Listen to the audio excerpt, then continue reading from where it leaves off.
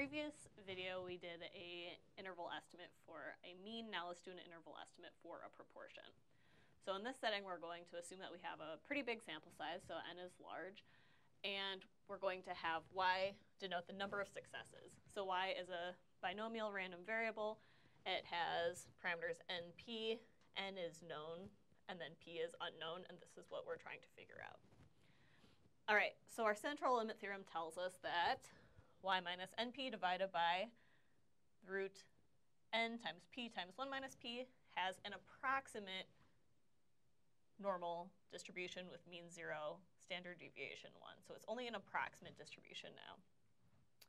Um, we can rearrange this to write y over n minus p divided by the standard error, which is root p times 1 minus p divided by n. So either way you want to write it, it'll have a standard normal distribution approximately. Um, in this case, we'll just assume approximately is good enough as long as we have a pretty large sample size.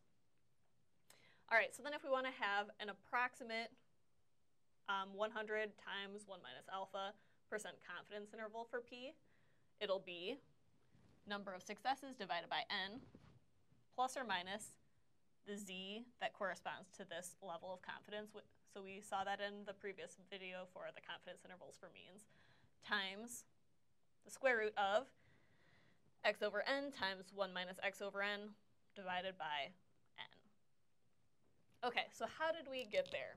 So remember that this z alpha over 2, we talked about that in the previous video for confidence intervals for a mean.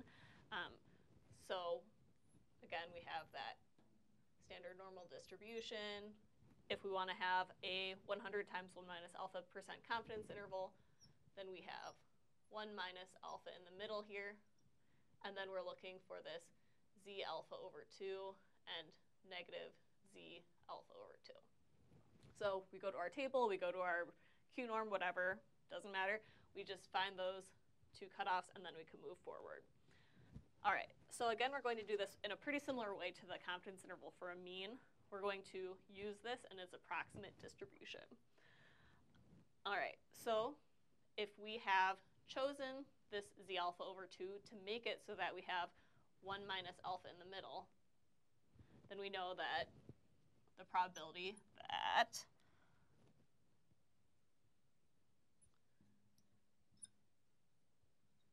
y over n minus p over the standard error is between this cutoff and that cutoff is 1 minus alpha.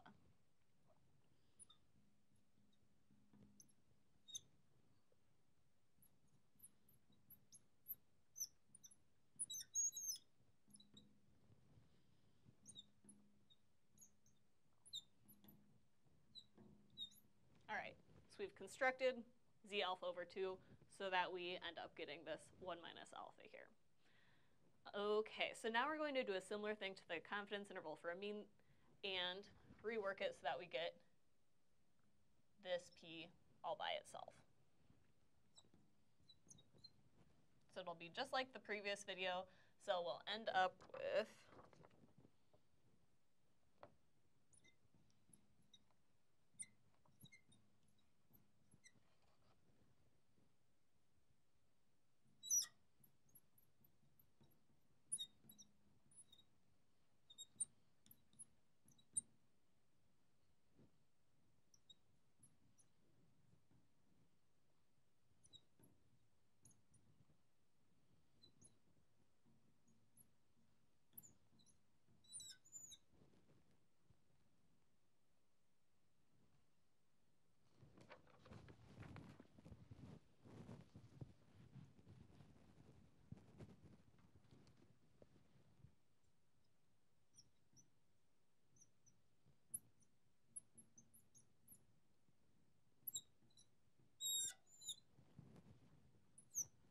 Okay, so we've rewritten our probability as so. And yes, we do have p in the middle here, but the problem is, at this point, we also have p's on these other two parts. So what we're going to do is take it to another level of approximation. So we know that p is approximately the number of successes divided by n. And so we can rewrite this to remove the p's from this piece here and this piece here so that we only have a p in the middle here.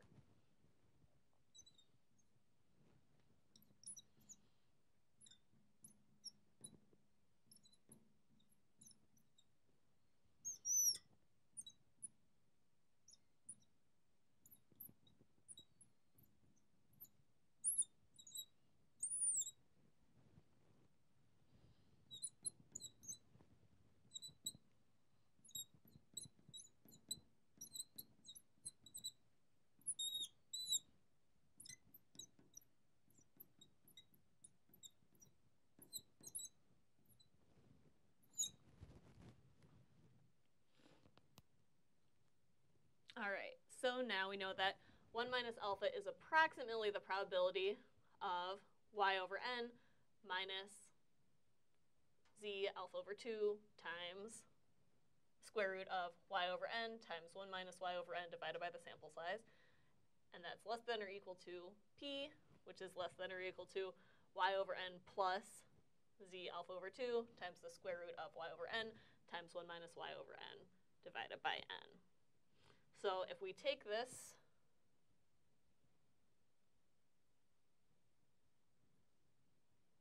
as one endpoint of our random interval and this as the other endpoint of our random interval, that's how we end up with this confidence interval here. And all of these x's should actually be y's.